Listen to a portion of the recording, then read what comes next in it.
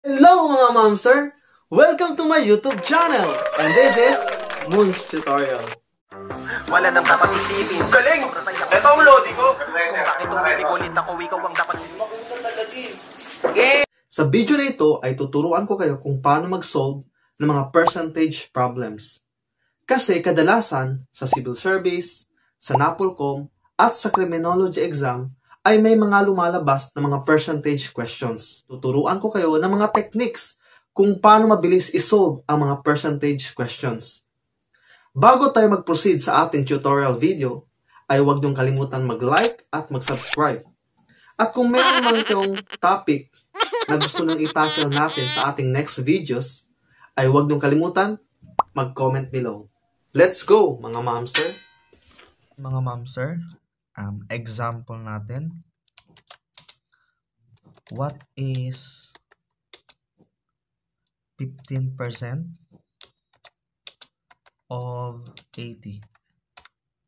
So, automatically, ma'am sir, alam nating lahat na yung 80 is equals to 100%.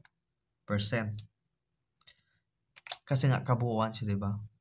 So, kalahati niyan, which is 40, is equals to 50%. So, ganito pagkuha sa kanya mga ma'am sir, himay-himayin ninyo. Nang sa ganun, kahit anong percentage ang tinatanong nila, kayang-kaya nung gawin. Which is, ito ang unang technique na ituturo ko sa inyo kung paano kunin ang mga percentage.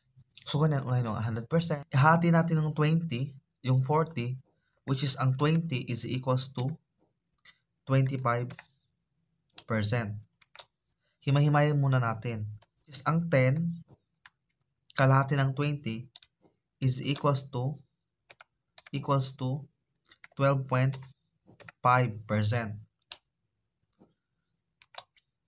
Ito ang isang importanteng point. Uh, focus kayo dito. Napaka-importante talaga niya. Ang pagkuha ng 10%. Kahit anong problem ng percentage ang ipapahanap sa inyo, after 100%, simulan nyo sa 10%.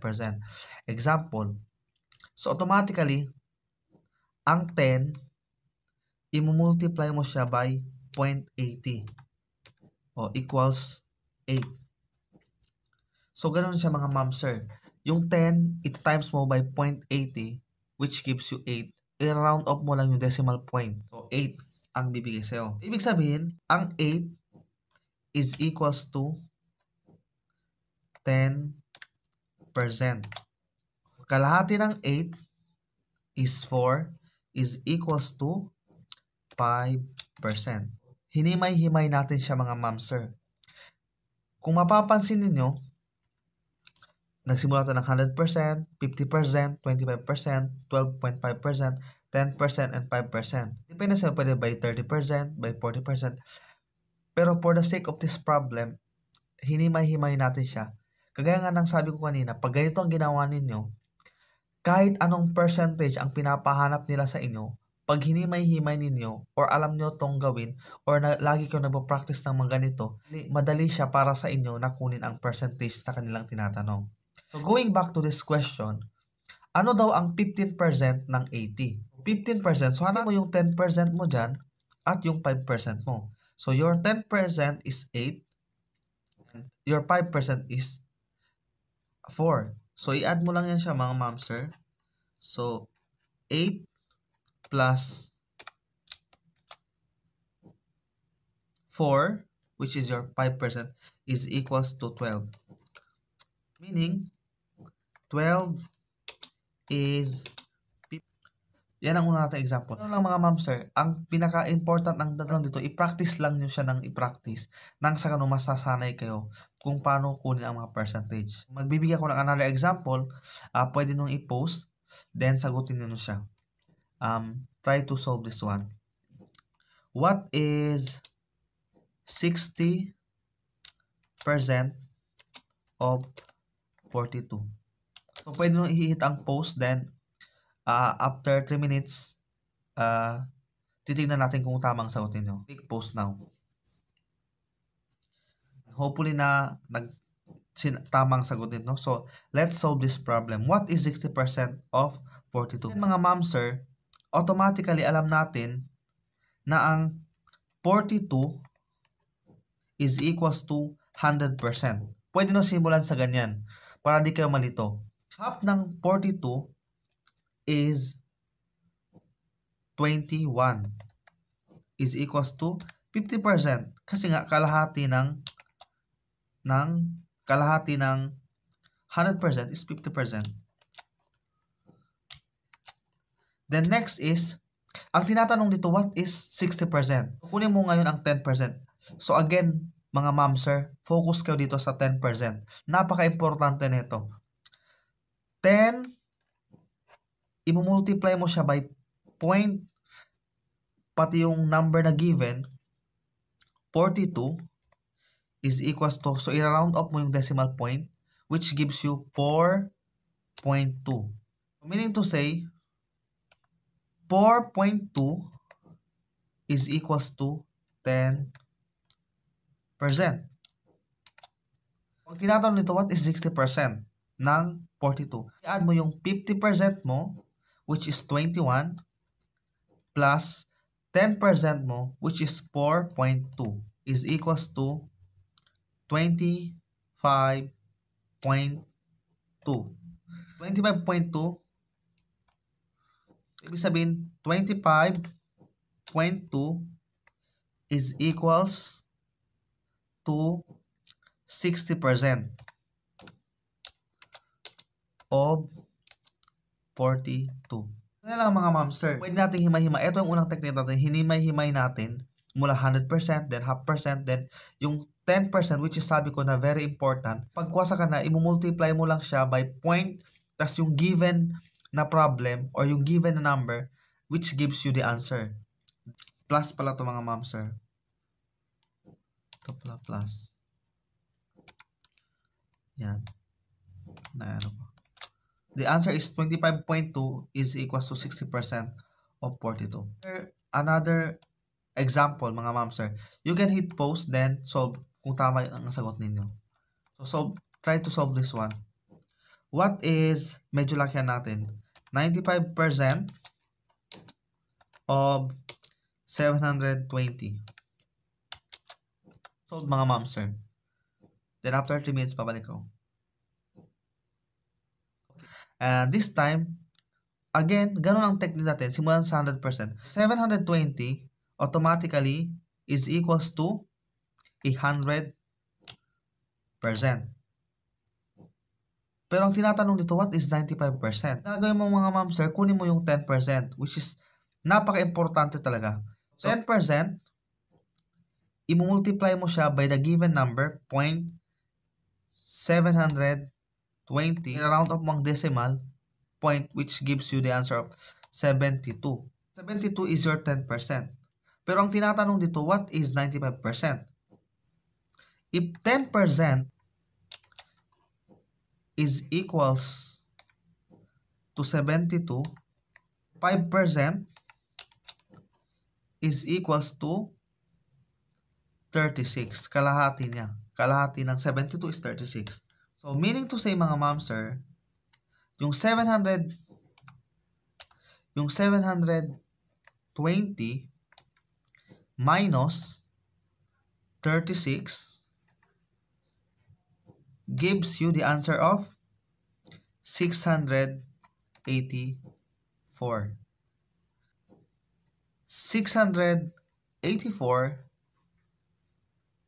is 95% of 720. Siya. Kung mapapansin dito, simulan natin ng 100% which is ang unang nating technique. Then yung 10% which is napaka-importante. Again, 10%. Sa pagkuha ng 10%, 10, i-multiply mo siya by given number which is 720 which gives you 72 kasi i-round off mo lang yung decimal point. Then yung 10% which is 72, since 95%, kukunin mo yung 5% niya which is the half is 36. So yung given number, ima-minus mo sa 36 which is 5%, then you will have the 684 or is the 95% of 720. The percent 72%,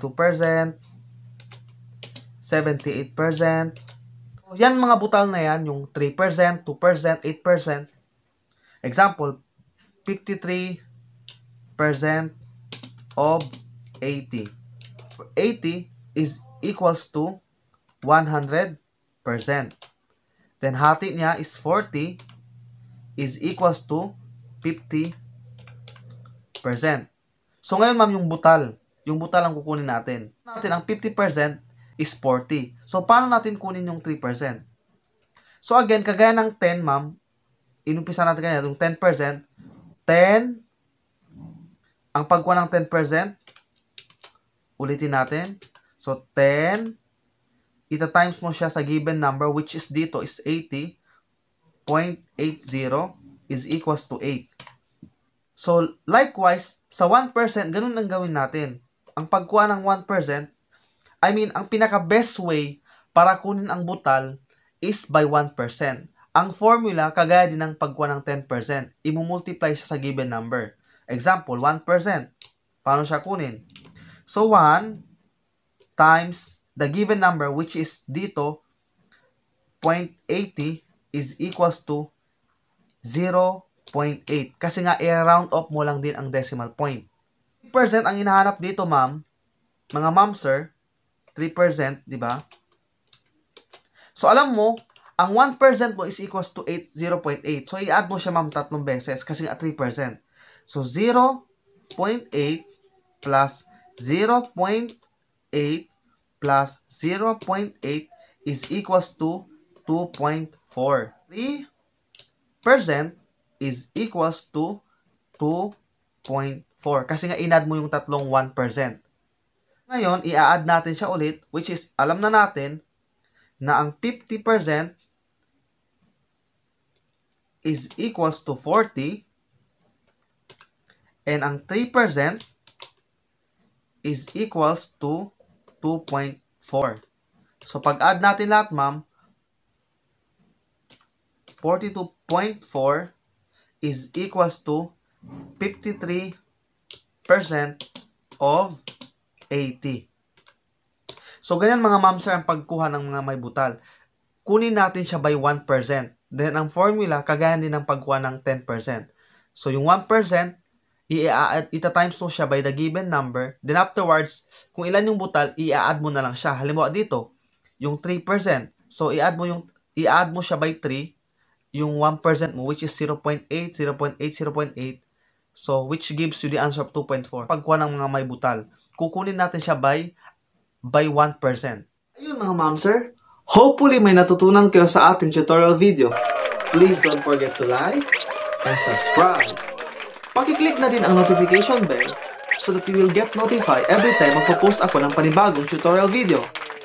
That's all mga sir. Bye-bye!